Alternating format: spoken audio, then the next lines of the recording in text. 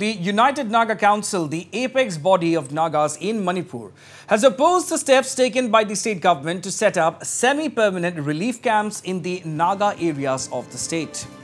Taking strong exception on the recent State Home Department's memorandum stating guidelines for setting up and operation of semi-permanent relief camps for displaced people of the ongoing conflict. The UNC stated the step can pose a serious threat that can cause breach of peace in future due to various problems attributed to the adverse demographic imbalances in different districts of the state. UNC discouraged the government's policy for setting up an operation of